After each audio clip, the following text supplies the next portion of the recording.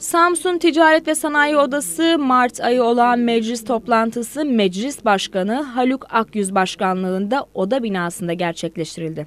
Toplantıda söz alan Samsun Ticaret ve Sanayi Odası Yönetim Kurulu Başkanı Salih Zeki Murzioğlu, iki toplantı arasında yürüttükleri faaliyetler hakkında meclis üyelerini bilgilendirdi.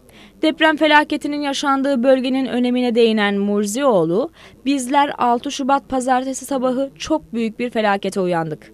Haberi aldığımız ilk andan itibaren bizi biz yapan en kıymetli duyguya sığındık.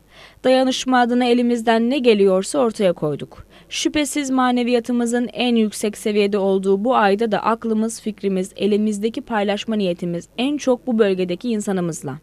11 il yaklaşık 100 bin kilometre alan, 13,5 milyon insanın yaşadığı bu bölge kadim medeniyetlerin izinde binlerce yıllık tarihe, bilgiye sahip.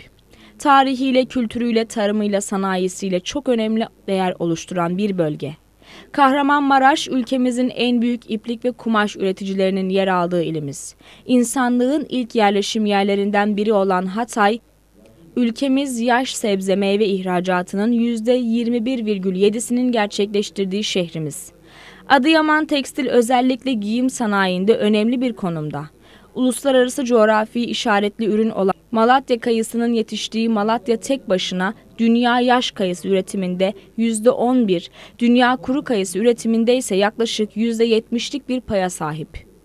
Bölgenin hayvancılık konusundaki kıymeti malumunuz. Ülkemizin toplam ihracatının %10'unu bu bölge teşkil ediyor kültürel varlıkları sahip olduğu tarihi atmosferi ve şüphesiz mutfağıyla turizmde de önemli katma değer üreten bir bölge. Sahip olunan tüm bu argümanlar bağlamında buradaki üretimin devamlılığını düşünerek sürece katkı vermeliyiz.